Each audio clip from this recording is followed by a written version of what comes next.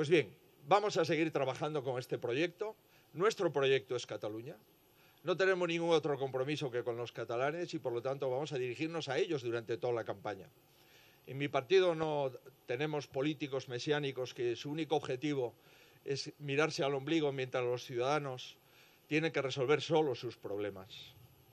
El problema, eh, y que no podemos aceptar, si lo tiene un político es que lo resuelva y que resuelva sus problemas personales, sus problemas políticos, sus problemas judiciales, pero desde luego que no se le impute a los ciudadanos. Los españoles no podemos estar pendientes de los problemas del señor Sánchez cuando es el señor Sánchez el que tiene que estar pendiente de los desvelos de los ciudadanos. Los catalanes no pueden estar pendientes de los problemas de Puigdemont y el conjunto de los españoles no pueden estar pendientes de los problemas de Sánchez son mucho más importantes los problemas de los ciudadanos que los problemas del señor Puigdemont o del señor Sánchez. Y quiero decirles, para finalizar, quiero mandar un mensaje muy claro a todos los ciudadanos, voten a quien voten. Cuando se ataca a los jueces y a los tribunales, cuando se ataca a los periodistas y a los medios de comunicación, lo que se está haciendo es dimitiendo de la democracia. Y yo le pido a todos los ciudadanos, de cualquier condición, de cualquier edad, vivan donde vivan, que no se dejen engañar.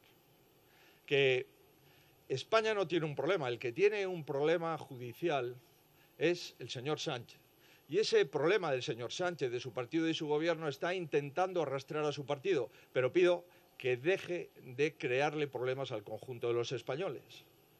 Creo que no es razonable, ni es lógico, ni es ético, ni es moral trasladar los problemas del entorno del presidente, del partido del presidente, del gobierno del presidente o del propio presidente al conjunto de los ciudadanos de Cataluña y al conjunto de los ciudadanos de España. Por lo tanto, vuelvo a reiterar, cuando alguien ataca a los tribunales y a los jueces de su país, a los periodistas y a los medios de comunicación, está dimitiendo de la democracia. Y espero que los españoles no caigan en ese engaño. España no tiene un problema, quien tiene un problema es Sánchez, su gobierno, su partido y su entorno. Que lo resuelva, pero no traiga sus problemas al conjunto de los españoles para olvidar realmente los problemas que afectan a los ciudadanos. Muchas gracias, muchas gracias a los medios de comunicación y por fin estamos consiguiendo que el incremento de las materias primas, incremento de calidad. Todo control de calidad todos los procesos. Aquí mi hermano explicaría aceite de oliva, tanto para el consumo humano, porque pues, el aceite de del suelo. Muestra por cisterna. Y si hay una cisterna que no